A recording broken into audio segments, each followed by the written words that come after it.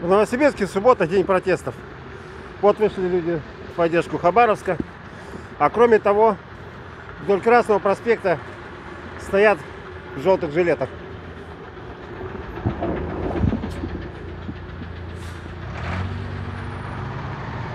Нас оптимизировали, теперь будут уплотнять. Нет ЖК Енисей.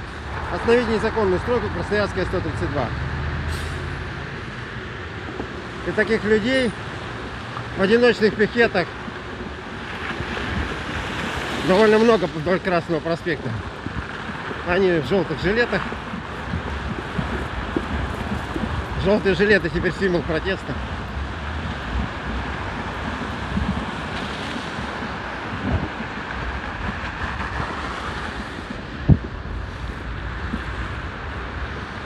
Губернатор. Ты здесь губернатор или шабашник? Нет ЖК Енисей, остановить незаконную стройку на Красноярской 132.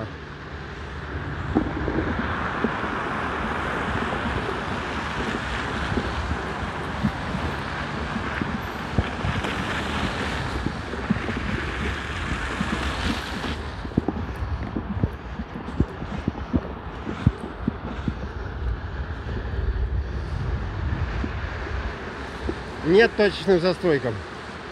Нет ЖК Енисей.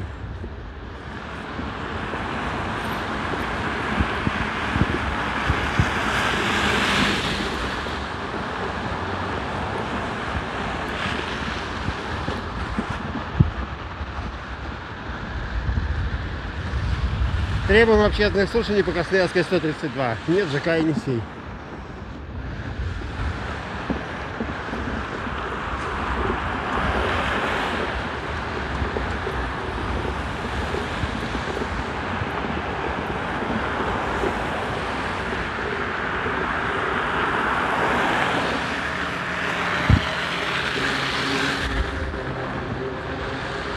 чужой земли мы не хотим ни пяди, ни своей клочка не отдадим. Нет ЖК Енисей, остановите незаконную стройку на Красноярской 132.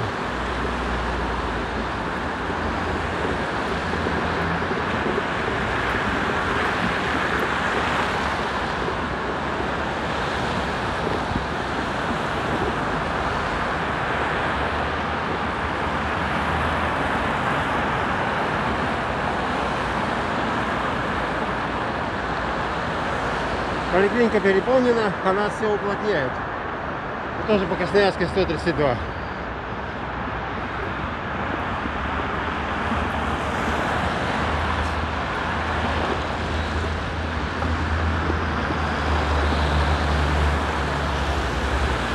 Обогащение нескольких важнее интересов тысяч жителей.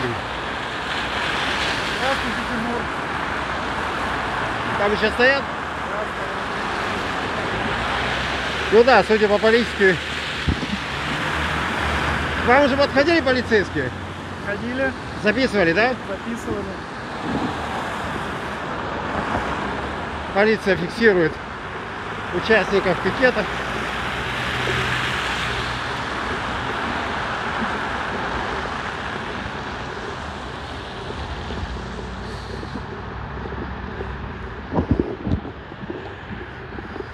Я уже рассказывал эту историю, показывал по Красноярскую 132. Там было во дворе девятиэтажных домов, ну там еще не только девятиэтажные, еще новые, поновее есть. Дома построены лет 30-40 назад. Во дворе была э, в советское время было ателье, постсоветская, кажется, шоколадная фабрика группу зданий этих небольших. Сейчас уже этот участок выкупил кто-то. ЖК Енисей теперь там собирается построить дом. Новый дом, достаточно большой, высокий. И по мнению местных жителей, вот как я показывал в своих репортажах на эту тему, по мнению местных жителей, э, их права нарушаются.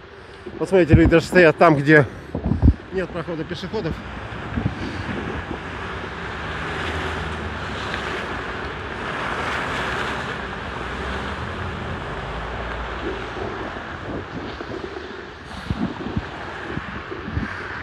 они говорят об инсоляции, о том, что им будет не хватать новая многоэтажка будет закрывать солнце в части домов, что не хватит дворового пространства для организации отдыха, что сейчас не хватает машин, мест для машин. А также протестуют против того, как по их, что по их мнению мэрия, мэр приняли решение о разрешении строительства незаконном. Я уже транслировал э, собрание администрации Центрального округа, где гражданам пытаются разъяснить ситуацию. Но, по-моему, они остались неудовлетворенными разъяснениями со стороны властей. Я знаю, что всю эту историю под контролем держит новый депутат законодательного собрания Константин Антонов. Он обещал а, ну, короче, контроль и противодействие незаконным решениям. Если, надо понимать, если эти решения действительно можно расценить как незаконные. Потому что, потому что ведь всегда можно сказать, мало ли, что кому кажется. Но, как видно, граждане настроены решительно. Они уже вывешивали на своих домах баннеры с протестными призывами. А теперь, как видите, вышли на улицу. Серия одиночных пикетов вдоль Красного проспекта. Этот жанр становится все более популярным среди обманутых дольщиков. И вот теперь э, сегодня вышли сюда люди с протестом против точечной застройки. Надо вспомнить, что э, мэр Новосибирска Анатолий Локоть, который уже второй срок является городоначальником, еще на первых выборах 5, больше пяти лет назад, 6 а, лет назад, да, он а, много раз говорил, что он против точной застройки. И во времена до высшей должности в городе, еще когда он был депутатом Государственной Думы, городского совета, он выступал вместе с другими против практики точных застроек. Вот еще человек стоит, смотрите, вон там, на перекрестке.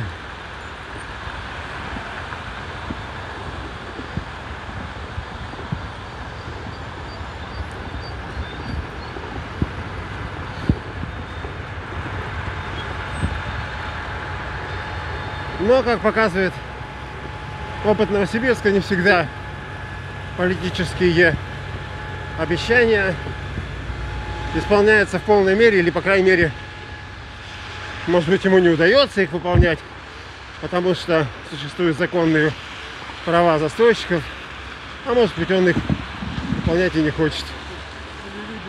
Продам совесть, честь и землю, обращаться в мэрию. Ну, вот эту тему как раз. Не ЖК и не на их незаконную стройку до Красноярска 132. А там кто-то есть? Ну, там еще один или двое. Почему вы вышли сегодня на протест? Ну, это наш ответ на новости Новосибирска и публикации прецедент ТВ, которые полностью, целиком и полностью действительности не соответствуют. А о чем там были публикации? Там раз, э, предъявили людям якобы жителя нашего жилмассива и якобы покупателя так называемого дольши, дольщицу, вот, которая, которая почему-то предлагает жить мирно. То есть то ли намекает, то ли боится нас. Нас бояться не надо, мы мирные люди, спокойно живем. Чем вас не устраивает стройка на Красноярской 132? Ну, в первую очередь мы считаем, что наши э, условия проживания существенно ухудшаются. Конкретно дом очень близко к нашим окнам. И не только дом. Там по проекту в 10 метрах конкретно вот от моего окна э, находится шахт, шахта из подземной стоянки. Вы вот против? Именно. Что? Вы против? Конечно, мне это не нравится. Мне это зачем? Куда она все это будет вентилировать? У меня там цветочки растут, извините меня. Мне придется свет раньше включать, мне все солнце дом загородит. Это, конечно, мелочи, но самое главное, что против чего мы выступили, это беспокойство за собственный дом.